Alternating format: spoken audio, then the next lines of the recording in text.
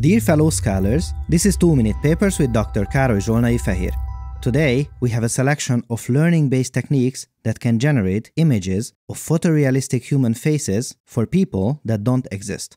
These techniques have come a long way over the last few years, so much so that we can now even edit these images to our liking by, for instance, putting a smile on their faces, making them older or younger, adding or removing a beard, and more. However, most of these techniques are still lacking in two things. One is diversity of outputs, and two, generalization to multiple domains. Typically, the ones that work on multiple domains don't perform too well on most of them. This new technique is called StarGAN2 and addresses both of these issues. Let's start with the humans. In the footage here, you see a lot of interpolation between test subjects, which means that we start out from a source person and generate images that morph them into the target subjects, not in any way, but in a way that all of the intermediate images are believable. In these results, many attributes from the input subject, such as pose, nose type, mouth shape, and position are also reflected on the output. I like how the motion of the images on the left reflects the state of the interpolation. As this slowly takes place, we can witness how the reference person grows out a beard. But we are not nearly done yet. We noted that another great advantage of this technique is that it works for multiple domains, and this means, of course, none other than us looking at cats morphing into dogs and other animals. In these cases, I see that the algorithm picks up the gaze direction, so this generalizes to even animals. That's great. What is even more great is that the face shape of the tiger appears to have been translated to the photo of this cat, and if we have a bigger cat as an input, the output will also give us this lovely and a little plump creature. And look, here the cat in the input is occluded in this target image, but that is not translated to the output image. The AI knows that this is not part of the cat, but an occlusion. Imagine what it would take to prepare a handcrafted algorithm to distinguish these features. My goodness. And now, on to dogs. What is really cool is that in this case, bendy ears have their own meaning and we get several versions of the same dog breed with or without them. And it can handle a variety of other animals too. I could look at these all day.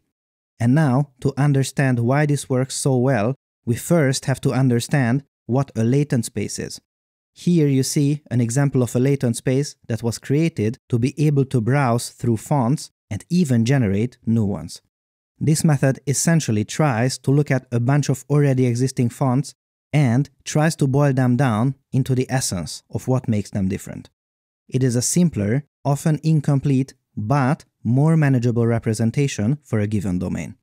This domain can be almost anything. For instance, you see another technique that does something similar with material models. Now, the key difference in this new work compared to previous techniques is that it creates not one latent space, but several of these latent spaces for different domains. As a result, it can not only generate images in all of these domains, but can also translate different features, for instance, ears, eyes, noses from a cat to a dog or a cheetah in a way that makes sense. And the results look like absolute witchcraft. Now, since the look on this cheetah's face indicates that it has had enough of this video, just one more example before we go. As a possible failure case, have a look at the ears of this cat.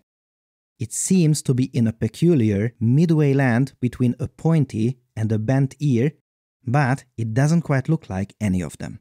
What do you think? Maybe some of you cat people can weigh in on this. Let me know in the comments. What you see here is an instrumentation of this exact paper we have talked about, which was made by Weights and Biases.